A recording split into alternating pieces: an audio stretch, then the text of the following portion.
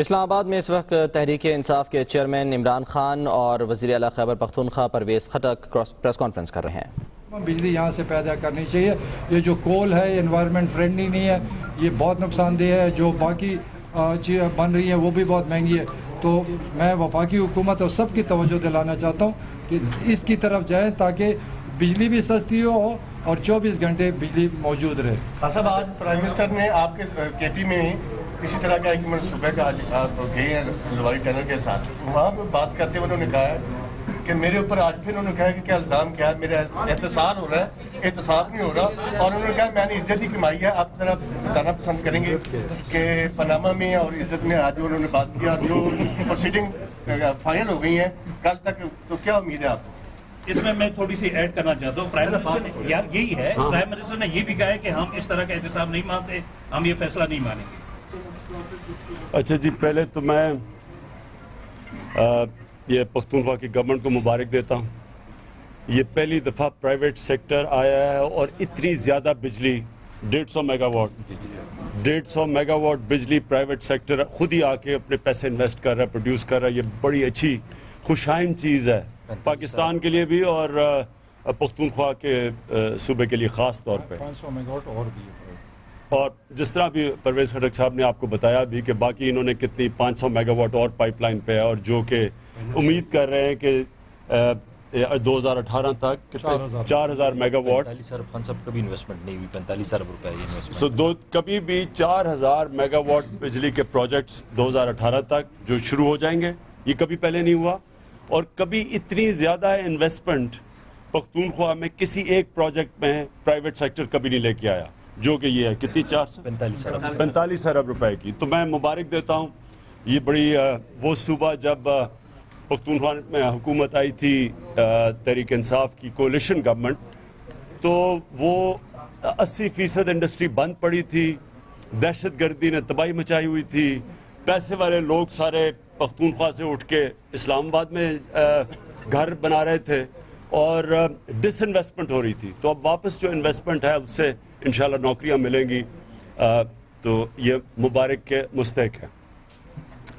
अब आ जाए जो आज नवाज़ शरीफ ने आज तकरीर की है। और तकरीर भी गो नवाज़ गो के डर से उन्होंने रिकॉर्डिंग करवाई है यानी वो बर रास्त नहीं की। और मुझे एहसास है कि मुश्किल है उनके लिए आजकल पब्लिक के अंदर जाना। लेकिन जो मुझे समझ नहीं आई कि इन्होंने ये धमकियाँ क्या दी हैं? ये ही नवाज़ शरीफ था, मुझे भी धमकी दी और एक पाकिस्तान के सुप्रीम कोर्ट को धमकी दी है कि हम मानते नहीं है ये तसाब सबसे पहले मैं इनकी अपनी तकरीरों से बताता हूँ कि जब ये पैनमा का इंकशाफ हुआ, इंटरनेशनल इंकशाफ था, इसमें कोई साजिश नहीं थी, ये कोई हमने नहीं किया, ये इंटरनेशनल हुआ और सबको पता है कि सारी दुनिया में वज़ीर अजम दो चले गए, इसकी वजह से कई वज़ीर चले गए। हज़ारों लोगों का एहतसाब शुरू हो गया। पाँच सौ मिलियन डॉलर सिर्फ़ आइसलैंड ने, पैनमा के जो उनके अकाउंट्स का इंकशाफ हुआ, आज कल न्यूज़ आइटम आई हुई, पाँच सौ मिलियन डॉलर आइसलैंड ने रिकवर किए हैं। तो ये कोई हमने नहीं किया, ये इंटरनेशनल एक एहतसाब था। और नवाज़ शरीफ ने खड़े होकर बार बार आवाम को कहा कि मैं तैयार हूँ एहतसाब के लिए अपनी और अपने खानदान का एहतसाब के लिए तैयार हूँ। यह हमने नहीं कहा यह नवाज़ शरीफ ने कहा और फिर जब एहतसाब शुरू हुआ दो दफ़ा सुप्रीम कोर्ट में गए और एक दफ़ा जेआईटी जो सुप्रीम कोर्ट ने बनाई सिर्फ़ इसलिए कि अगर इनको कोई मजीद इख्तलाफ हो अगर इनको कोई आ, अगर इनको कोई इशू हो तो उन्होंने जेआईटी बनाई इनकी मदद के लिए कि आप मेहरबानी करके और कोई सबूत ले आए, और कोई दस्तावेज़, दस्तावेजात ले आए। जो कि नवाज़ शरीफ ने असेंबली में खड़े होके कि ये हैं वो दस्तावेजात, हमारे पास सब कुछ है, या ये हैं वो जराए, वो जो सारों को रटी गई हैं। तो इन्होंने खुद अपने आप को अकाउंटेबिलिटी के सामने एहतसाब के लिए प्रेजेंट किया। तो जब एहतसाब शुरू हुआ ना कोई डॉक्यूमेंट मिली और आज जो भी आप प्रोसीडिंग देख रहे हैं सुप्रीम कोर्ट में, कोई इनके पास है ही नहीं डॉक्यूमेंट और जो डॉक्यूमेंट्स दी फौजरी झूठ बोला। झूठ बोलना ओथ के ऊपर सुप्रीम कोर्ट में यह भी सजा है। आप अगर ये जाल से गलत डॉक्यूमेंट्स पेश करें तो वो आज अटॉर्नी जनरल ने कहा है कि सात साल की सजा है। तो ये तो साफ़ पकड़े गए हैं। एक के बाद दूसरा झूठ पकड़ा जा रहा है। और जब झूठ पकड़े जा रहे हैं तो नवाज़ शरीफ बजाय आपको शर्म आने के कि आपने अपने बच्चों को भी जलील कर दिया, अपने बाप जो इस दुनिया में भी नहीं है, उनको भी जलील कर दिया, अपने आप को भी जलील कर दिया है। बजाय आपको शर्म आए, आप धमकियाँ दे रहे हैं लोगों को कि जी मैं देख लूँगा, मैं ये कर दूँगा। क्या आपको कोई गलत फहमी तो नहीं होगी कि आप कोई मुगल आज़म है? कोई आप बादशाह हैं कि कानून आपके ऊपर पाकिस्तान का कानून कि ज़रूरत किसकी है कि आपको कानून के सामने कोई ले आए? इनके बच्चे जा रहे थे वहाँ जे के सामने। वो ऐसे जा रहे थे कि जैसे अंदर जा रहे थे जैसे पता नहीं उन्होंने कोई क्या पता करके आए हैं और फिर बाहर निकल रहे थे और जेआईटी से बाहर निकल रहे हैं और कह रहे हैं मेरे सवालों का जो जेआईटी ने जवाब नहीं दिया। जवाब तो आपने देना था। ये एक मिनट ठहर जाए। ये जो तकबर है ये तकबर इनका इनका कि जिस तरह की किसी की ज़रूरत होगी इनसे सवाल पूछने के ये मुल्क के प्राइम मिनिस्टर हैं। अगर ये जमहूरियत है जमहूरियत के अंदर प्राइम मिनिस्टर जवाबदेह होता है वज़ीर जवाबदेह होते हैं गवर्नमेंट जवाबदेह होती है जमहूरियत और आमरीत में ये तो फ़र्क है। तो कहते हैं जमहूरियत है जब इनके पैसे को करप्शन के ऊपर कोई कोई बात करे तो उनको जमहूरियत ही आ, आ जाती है। और जब जमहूरियत के जो प्रिंसिपल्स हैं अकाउंटेबिलिटी ट्रांसपेरेंसी उसके ऊपर जब आते हैं तो ये धमकियाँ देने शुरू हो जाते हैं। नवाज़ शरीफ आपके पास टाइम कम है अब। ये धमकियाँ देने से ये, ये सारी कौम ना आपकी धमकियों की कोई फ़िक्र करती है ना किसी को कोई खौफ है।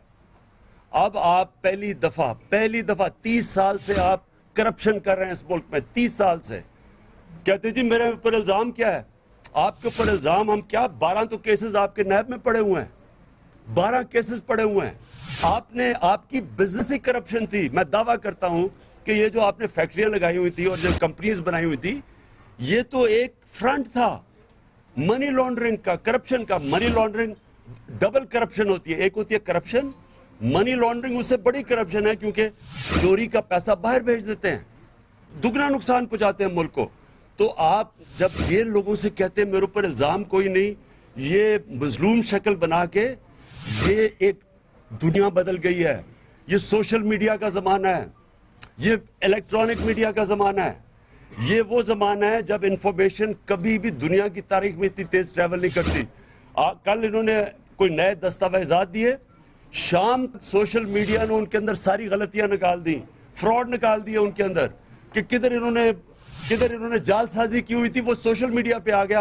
अदालत ने तो आज सुबह किया है, सारे सोशल मीडिया पे तो रात ही इनको एक्सपोज कर दिया था। तो ये बदल गया है। ये नवाज़ शरीफ, ये धमकियों का टाइम चला गया है। आपकी अब ये बात नहीं हो रही कि आपको आपको डिस्कालीफाई किया जाएगा। अब तो आप ये सोचें कि अडयाला जेल में आपकी जगह तैयार हो रही है।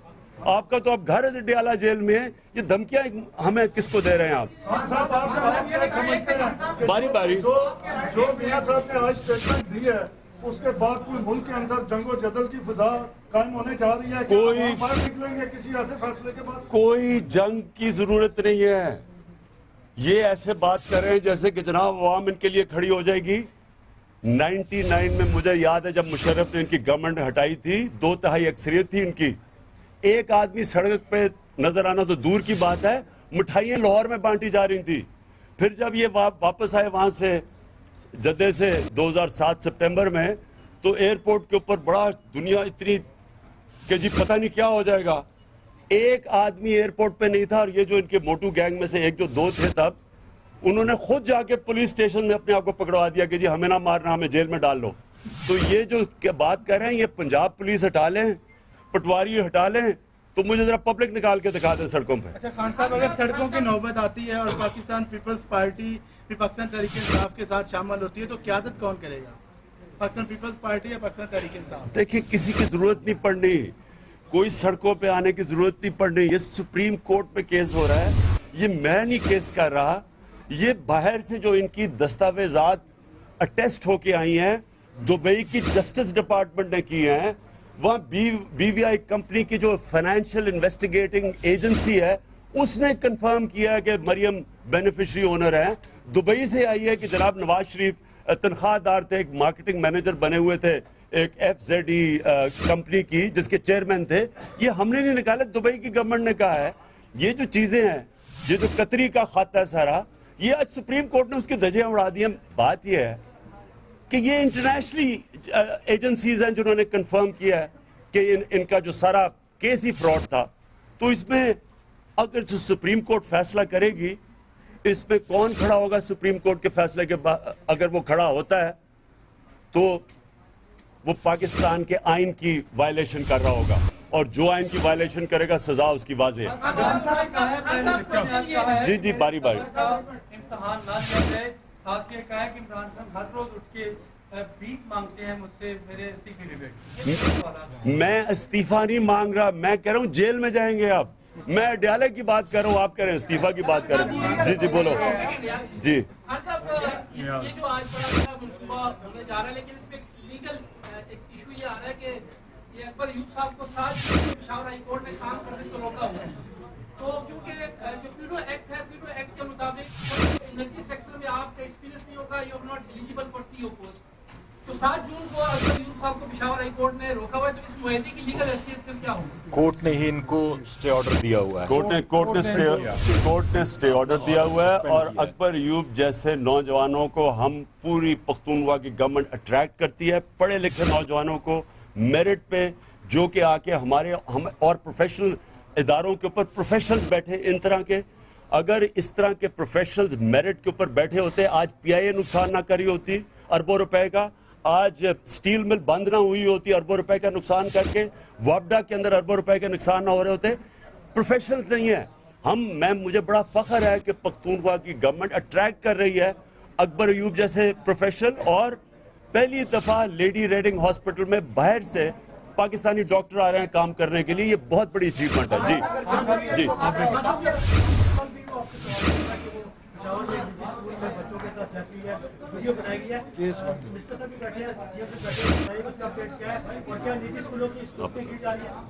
वो उस पर ऑलरेडी एक्शन लिया गया है उसका अरेस्ट ऑर्डर कर दिए हैं और उस पर एक्शन सख्त लिया जाएगा। अच्छा खान साहब कोई उसमें रियायत नहीं होगी। छोड़े नहीं। खान साहब रहमान साहब भी अब उम्मीदवार बन गए हैं। वजारत आप उन्हें वोट दे रहे हैं सर मुझे तो इस वक्त अडयाला जेल के उम्मीदवार लग रहे हैं सारे ये काफ़ी दिनों से खामोश हैं। हाँ? खैर खबर है। चौधरी साहब खान आपके दोस्त काफ़ी दिनों से खामोश हैं। खैर खबर है। नहीं उनकी कमर में दर्द हुई है। खान साहब कुछ जी। आपके राइट लेफ़्ट पख्तूनख्वा की क्यादत बैठी हुई है और आजकल वहाँ पे ये खबरें चल रही हैं कि इनमें दोनों में अख्तलाफात पाए जाते हैं। ये क्या इख्तलाफ है सर ये हुसन इतफाक पाया जाएगा देखें देखें एक मिनट। भाइयों के अंदर भी कई दफ़ा मसले हो जाते हैं तो ये आप क्या बात कर रहे हैं? मुझे बड़ी खुशी है कि जो परफॉर्मेंस दी है आज नवाज़ शरीफ को। पता नहीं, मेरे ख्याल में उनको अगर सड़क ना नज़र आए तो वो समझते हैं कि परफॉर्मेंस ही नहीं कुछ है। मैं, हम सारे परफॉर्मेंस समझते हैं जो ह्यूमन डेवलपमेंट है इंसानों के ऊपर।